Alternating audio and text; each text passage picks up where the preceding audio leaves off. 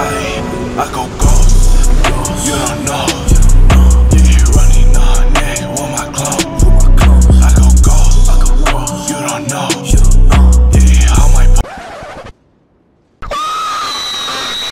So I just finished trying to do the fire giant glitch and I don't think it works anymore. After the glitch didn't work, I tried to fight him and just got one shot.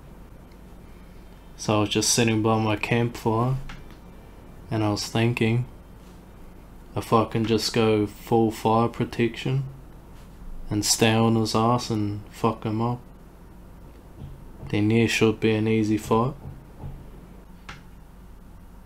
Yeah, all the shit I got. If you wanna beat him easy, changing my thing so I can stay on him. More hits I do, the more damage I get. And then I pretty much got the tanker's armor that I could put on. And for the talismans, pretty much got full magic negation and a fire pill drake crest shield for the physical but I think I change it to a dexterity one and you know more consecutive attacks just so I'm doing more damage. And for my spells I pretty much want to do HP damage. So yeah like um bleed. Can do the black blade spell from Maliketh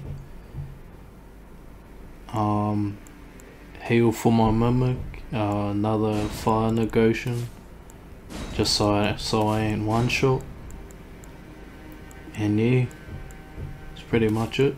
Stay on his ass and just fight him